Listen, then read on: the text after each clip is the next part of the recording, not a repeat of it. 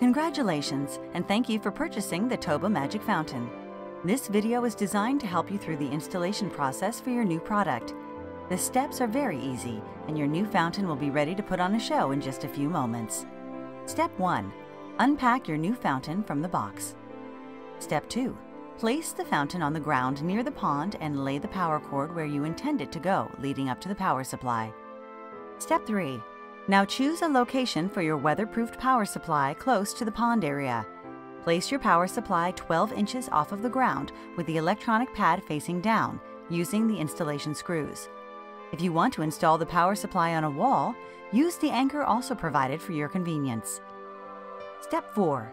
Plug the long fountain cord into the power supply receptacle and, paying careful attention to the positioning of the prongs on the plug as an incorrect connection can cause the fuse to short, secure the power cable with the cable tie provided. This will help to keep the cord from pulling out. Step 5.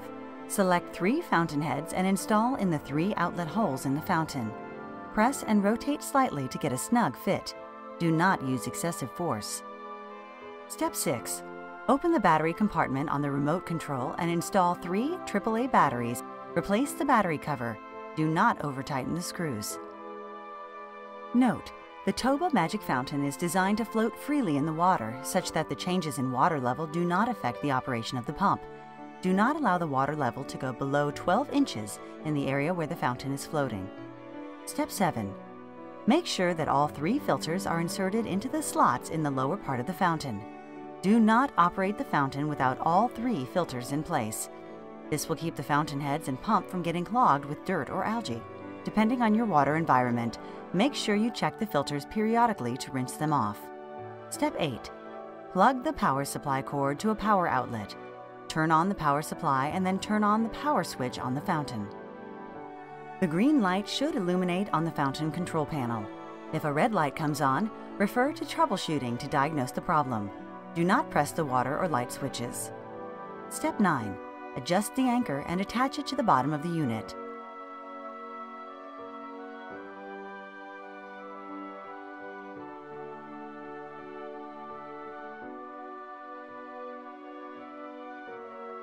Step 10. Attach the anchor locator into a standard skimmer pole. Step 11. Position the fountain and anchor in the pond in the area you choose.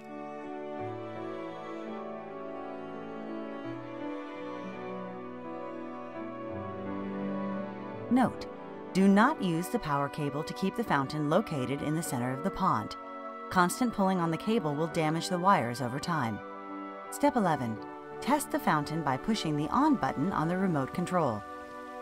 Be sure to spend time reading your instruction manual to learn all of the functions of your remote control, the fountain modes, water heights, lighting, and filter information. Now you can enjoy the full range of effects. Should you have any additional questions about your new Toba Magic Fountain, please contact our corporate office at 800 985 8622.